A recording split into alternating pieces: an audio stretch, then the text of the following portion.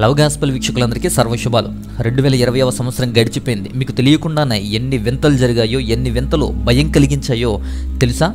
పూర్తిగా చూడండి. అంతేకాదు రెండు వేల ఇరవై ఒకటవ సంవత్సరం ఎలా ఉండబోతుందో అనే ఇలాంటి కొన్ని అంశాలు కూడా చర్చించుకుందాం. పూర్తిగా స్కిప్ చేయకుండా చూడండి. రెండు వేల ఇరవైలో మర్చిపోలేనిది ఏదైనా ఉంది అంటే బ్రతికినంత కాలం కూడా మర్చిపోలేనిది ఏదైనా ఉంది అంటే అది corona virus. So COVID nineteen. దాని భయం దానికోసం విధించినటువంటి లాక్డౌన్ ఈ రెండు కూడా మర్చిపోలేం. ఈ సంవత్సరం రెండు వేల ఇరవయో సంవత్సరం కూడా ఎలా గడిచిపోయిందో ఎలా జరిగిందో కూడా మర్చిపోయేలా చేసింది. ఎప్పుడో మార్చి గుర్తుంటుంది. తర్వాత నవంబర్ వరకు కూడా మధ్యలో ఏం జరిగింది ఎలా జరిగిందో తెలియదు. ఆ విధంగా అయిపోయింది అంతా కరోనానే. సో ఆ విధంగా ప్రభావితం చేసింది. అంతేకాకుండా ఈ యొక్క రెండు వేల ఇరవైలో ఉన్నటువంటి కొన్ని హైలైట్స్ కూడా మనం గమనిస్తే కనుక వార్మెస్ట్ ఇయర్ కూడా ట్వంటీ ట్వంటీని. అత్యధిక ఉష్ణోగ్రతలు నమోదైనటువంటి సంవత్సరం కూడా ఈ యొక్క ట్వంటీ ట్వంటీ ఇయరే. లాక్డౌన్ కాలంలో ఎన్నో మార్పులు సంభవించాయి. సినిమా థియేటర్లు మూసివేసినటువంటి సంవత్సరం ఏదైనా ఉందా అంటే అది ట్వంటీ ట్వంటీనే. అంతేకాదు ఆదాయ మార్గాలు అన్వేషించి చిన్న చిన్న షాపులు ఎక్కడ పడితే అక్కడ రావటాన్ని కూడా మనం గమనించాం. సో ప్రయాణాలు మానేసుకున్నటువంటి సంవత్సరంగా కూడా ట్వంటీ ట్వంటీ ఉంది. చాలా ప్రయాణాలు కూడా తగ్గిపోయాయి. ఇక ముఖ్యమైనది ఏంటంటే సినిమాలకు టీవీలకు ధీటిగా ఓటీటీ ప్లాట్ఫామ్స్ విజృంభించాయి. ఓటీటీ ప్లాట్ఫామ్స్ ఎక్కువైపోయాయి. ఇంటర్నెట్ సినిమాలు. ఇకపోతే ఆస్ట్రేలియాలో లార్జ్ బుష్ ఫైర్ రావటం అనేది ఈ అరణ్య దహనం ద్వారా దాదాపు ఐదు వేల మిలియన్ జంతువులు అనేకమైనవి మంటల్లో కాలిపోయాయి కాలి బూడిదైపోయాయి. అది అత్యంత పెద్ద ప్రమాదకరం అక్కడ. అది అత్యంత బాధాకరమైంది. అంతేకాకుండా ఆస్ట్రేలియా వాళ్ళు ఇది సో బిగ్గెస్ట్ డిజాస్టర్ కింద లెక్కగట్టారు కాలిఫోర్నియాలో కూడా ఇలాంటి విల్ ఫైర్ ఒకటి సో విల్ కాస్ట్ విల్ ఫైర్ ఒకటి జరిగింది ఇదే రెండు వేల ఇరవై సంవత్సరంలో. కాలిఫోర్నియాలో కూడా అడవులంతా కూడా నాశనం అయిపోయినాయి. ఇకపోతే ఇటలీ చూస్తే ఇటలీలో జనాభా అంతట్లోనూ సగం మంది జనాభా క్వారంటైన్లో ఉన్నారంటే కోవిడ్ వల్ల ఆశ్చర్యమే అనిపిస్తుంది. ఈ పరిస్థితుల దృష్ట్యా ఇండియా ఎకానమీ కుప్పకూలిపోయింది వరల్డ్ ఎకానమీ కూడా వరస్ట్ స్టేజ్లో ఉందని ఐఎంఎఫ్ అంచనా వేసింది. పంతొమ్మిది వందల ముప్పై తర్వాత ఇంత ఆర్థిక నష్టం రావడం ఇదే తొలిసారి. స్టాక్ మార్కెట్లు కూడా క్రాష్ అయిపోయాయి కుప్ప కూలిపోయాయి చాలా నష్టం వాటిల్లింది. అసలు స్పోర్ట్స్ అనేవి క్యాన్సిల్ అయ్యే సంవత్సరం ఏదైనా ఉంది అంటే అది రెండు వేల ఇరవైవ సంవత్సరమే. స్పోర్ట్స్ కూడా అన్నీ కూడా క్యాన్సిల్ చేసుకోవాల్సి వచ్చింది. ఒలింపిక్స్ కూడా క్యాన్సిల్ అయ్యాయి. రెండవ ప్రపంచం యుద్ధం తర్వాత ఇలా ఒలింపిక్స్ రద్దవడం ఇదే రెండు వేల ఇరవైలో. అలాగే పాకిస్తాన్లో ఒక విమానం కూలిపోవడానికి కూడా ఎయిర్లైనర్ క్రాష్ అవ్వడాన్ని కూడా మనం చూస్తాం. అది కూడా చాలా అత్యంత ప్రమాదకరమైనటువంటి విషయం. అంతే కదా మన ఇండియాలో కూడా జరిగింది. కేరళలో కోజిగుడ్లో ఎయిర్ ఇండియా విమానం లోయలో పడింది. అదుపు తప్పి వందే భారత్ విమానం అది. విదేశాల నుంచి బాధితులను తీసుకొస్తున్నటువంటి వందే భారత్ విమానం కూడా కుప్పకూలి ఈ విధంగా లోయలో పడి ఉండడాన్ని మనం గమనించాం. అంతేకాదు ఇక భూకంపాల విషయానికి వస్తే భూకంపాలు కూడా అనేకమైన చోట్ల జరిగాయి. Turkey Caribbeans China Iran Russia Philippines అలాగే ఇండియాలో కూడా భూకంపాలు సంభవించాయి. టర్కీలో భూకంపం ద్వారా దాదాపు వంద మంది చనిపోయారు. ఇక ఇండోనేషియాలో కూడా వరదలు రావడాన్ని మనం చూసాం. ఇండోనేషియాలో భారీ వరదలు నిజంగా చాలా భారీ వరదలు కృంగదీసేసాయి దేశాన్ని అతలాకుతలం చేసేసాయి కన్నీటి పర్యంతం అయిపోయింది దేశమంతా కూడా. ఇంకొక అతిపెద్ద న్యూస్ రెండు వేల ఇరవైలో జరిగింది ఏంటి అంటే సో బీరెట్ పేలుడు. సో బీరెట్ పోర్ట్లో ఆగస్టులో నిజంగా కళ్ళు చూస్తుండగానే పేలిపోయింది. సో పేలిపోయి దాదాపు రెండు వందల నాలుగు మందిని పొట్టన పెట్టుకుంది. రెండు వందల నాలుగు మంది చనిపోయారు. వేలు వేలకు వేలు గాయాలైపోయి హాస్పిటల్ పాలైపోయారు. ఆ చుట్టుపక్కల చుట్టుపక్కల ప్రాంతాలన్నీ కూడా నాశనం అయిపోయినాయి. ఈ విధంగా అగ్ని ప్రమాదాలు కూడా చాలానే ఉన్నాయి. అంతేకాదు ఇండియాలో కూడా చూస్తే ఇండియాలో అస్సాంలో ఆయిల్ అండ్ గ్యాస్ లీక్ అయింది. ఆయిల్ గ్యాస్ లీక్ అవడం వల్ల అస్సాం పరిసర ప్రాంతాల్లో ఉన్నటువంటి పరిస్థితులు కూడా భయాందోళనలో ఉన్నాయి. అంతేకాదు శ్రీశైలం ప్లాంట్లో అగ్ని ప్రమాదం వల్ల నిజంగా అక్కడ చాలా భయంకరమైనటువంటి పరిస్థితులు మనం చూసాం. అంతేకాదు అహ్మదాబాద్ ఫ్యాక్టరీలో అగ్ని ప్రమాదం చూసాం. దహేజ్లో భారీ పేలుడు సంభవించి మొత్తం ఆకాశం అంతా కూడా మూసేసేలా మొత్తం పొగమంచుతో మూసేసేలాగా అంత భారీ పేలుడు వచ్చేసింది. చుట్టుపక్కల పరిస్థితులు వారంతా కూడా చూస్తుంటే నల్లగా అయిపోయింది అస్సాంలో కూడా అంతే. అస్సాంలో గ్యాస్ లీక్ అయినటువంటి మంటలు కూడా మనం ఆ వార్తలు విన్నాం. అంతేకాదు మన వైజాగ్లో కూడా సో ఎల్జీ ఫ్యాక్టరీలో కూడా అగ్ని ప్రమాదాన్ని జరగడాన్ని కూడా మనం చూసాం.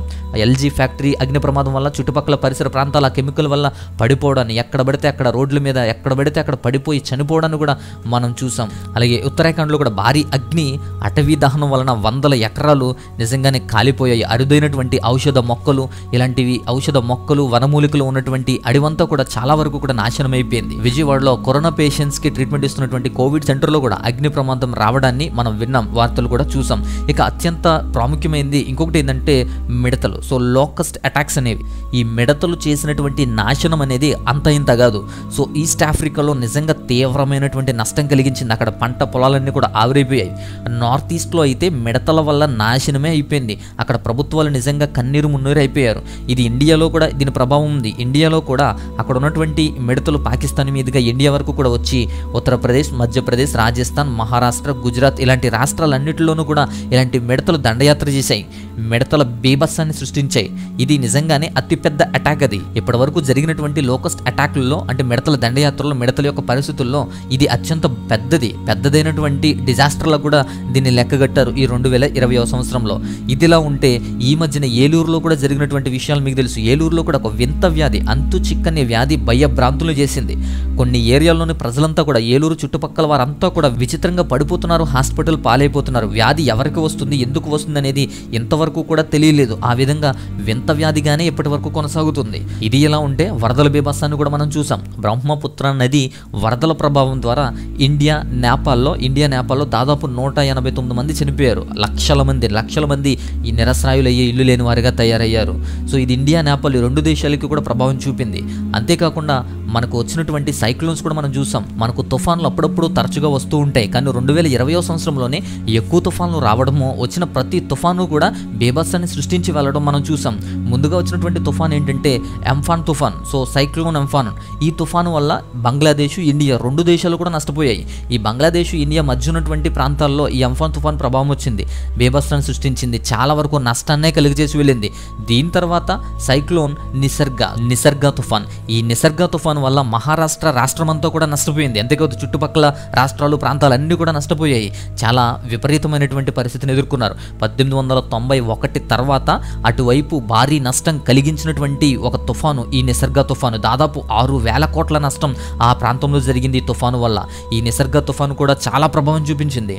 ఇది ఇలా ఉంటే తర్వాత వచ్చినటువంటి ఇంకొక తుఫాన్ నవంబర్లో మనకు చూసినటువంటి ఇంకొక తుఫాన్ ఏంటంటే సైక్లోన్ న్యూవార్.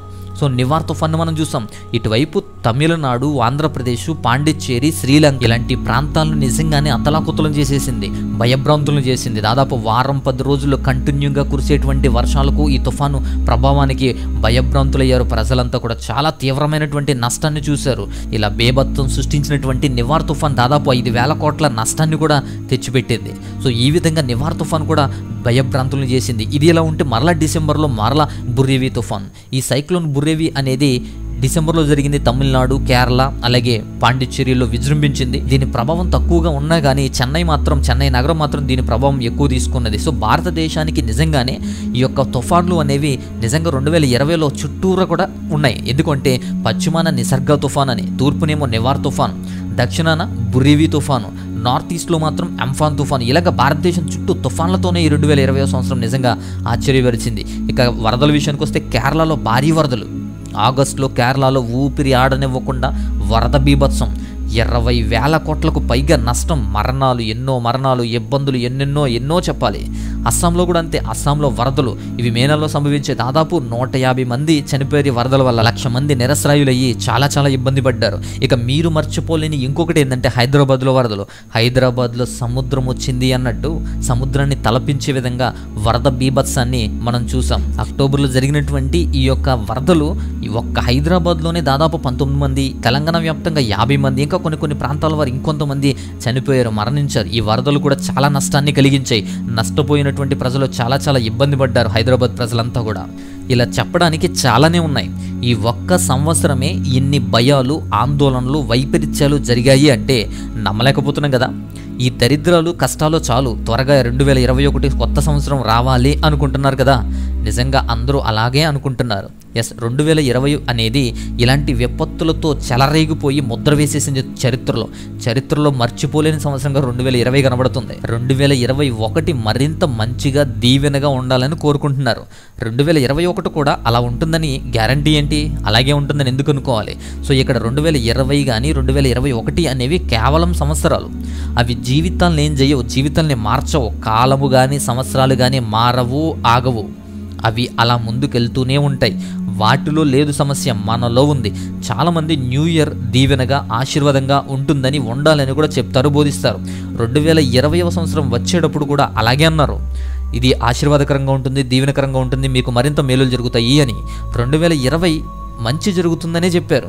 కానీ మనం అనుకుంటే సరిపోదు కదా అలా ప్రవర్తించాలి మారాలి. టైం అనేది ఆగదు మారదు మనమే మారాలి. ఆ టైం కొందరికి మంచి జరుగుద్ది అదే టైము ఇంకొందరికి చెడు జరుగుద్ది. టైం ఒకటే కానీ మన తీరు మన ప్రవర్తన మన పరిస్థితులు దానికి కారణం. కానీ రెండు వేల ఇరవై అనేది నిజంగానే ఒక ప్రత్యేకమైంది. నిజంగా చెరగని ముద్ర వేసుకుందనుకోండి ఇలాంటివన్నీ కూడా రెండు వేల ఇరవైలో జరగటం అనేది విచిత్రమే. ఈ విషయాలే కాదు మనిషి కూడా ఎంత వికృత రూపంలో ఉన్నాడో ఎంత భయంకరంగా ఉన్నాడో మనకు అర్థం కావాలి. మనిషిని బట్టే పరిస్థితులు పరిస్థితిని బట్టే ప్రకృతి ప్రకృతిని బట్టే విపత్తులు జరుగుతాయని మాత్రం అర్థం చేసుకోండి. మనం సూపర్ మార్కెట్లోకి వెళ్తే వస్తువులన్నీ ఒకే చోట దొరికినట్టు మనిషిలో కూడా అన్ని దుర్గణాలు దుర్మార్గాలు కనబడుతున్నాయి. అన్నీ ఒకే చోట ఒకే మనిషిలో. సో మారని మనిషి కోసం ప్రకృతి ఎందుకు సహకరిస్తుంది? గాలి ఎదురు తిరిగి పెనుగాలి సుడిగాలిలా మారిపోతుంది. వెలుగునిచ్చే సూర్యుడు వేడినిచ్చే వేడిమిగా మారిపోతున్నాడు వాడిగా మారుతున్నాడు. నేలను తడిపేటువంటి వర్షం తుఫానుగా వరదలుగా మారిపోతుంది. సముద్రం సునామీలా విరుచుకుపడుతుంది. ఎప్పుడైతే మనిషి ప్రభావం మారుతుందో ప్రకృతి పరిస్థితులు మారతాయి. చూద్దాం రెండు వేల ఇరవై ఒకటవ సంవత్సరం ఎలా ఉండబోతుందో. కాదు రెండు వేల ఇరవై ఒకటిలో మనం ఎలా ఉండబోతున్నామో చూద్దాం. ఎలా ఉండాలో మనం అంచనా వేద్దాం. ప్రభుత్వాలు ప్రజలు ఎన్ని చేస్తున్నా ఏమి చేసినా కానీ మన స్థితిని మన నిర్ణయాలతోనే మన చేతులతోనే ఉంటుంది. మన నిర్ణయాల్లో మన చేతుల్లోనే ఉంటుంది అని మాత్రం గమనించాలి. రెండు వేల ఇరవై ఒకటి నుంచి కొన్ని ఆలోచించాలి. వారి గురించో వీరి గురించో ఎవరి గురించో మనకు అవసరం లేదు. మన గురించి మనమే ఆలోచించాలి. మనల్ని మనమే మార్చుకోవాలి. మన కోసం మనమే మారాలి. ఇంకెవరి కోసం అక్కర్లా? మన కోసం మనం మారితే చాలు.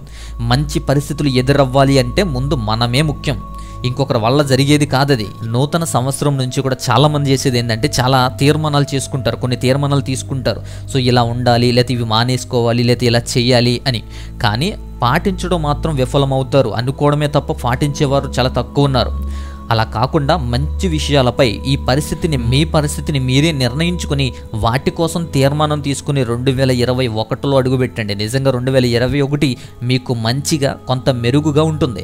నిజంగా అలా ఉండాలని ఆశిస్తున్నాం.